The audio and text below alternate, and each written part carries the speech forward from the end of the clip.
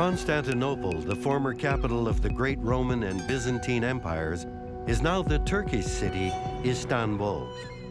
Straddling both European and Asian shores of the Bosphorus Sea for more than 3,000 years. Yet despite its remarkable history, most of the city's past is shrouded in mystery. But in 2004, Turkish engineers began digging an immense tunnel underneath the Bosphorus to connect Europe and Asia by train. And it was here that they stumbled across something extraordinary, one of the richest archaeological sites ever unearthed.